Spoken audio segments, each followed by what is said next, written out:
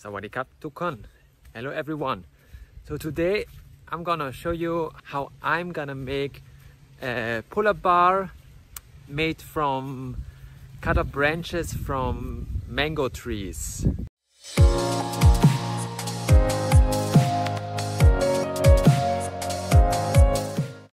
So in there we have a lot of material we can use.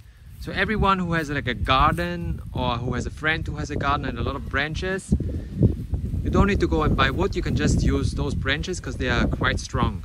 So I'm gonna show you how I'm gonna make it. So those are the branches I chose. I don't know the name of this tree, but it grows really fast and we can use it as a material as well. Okay, let's do this.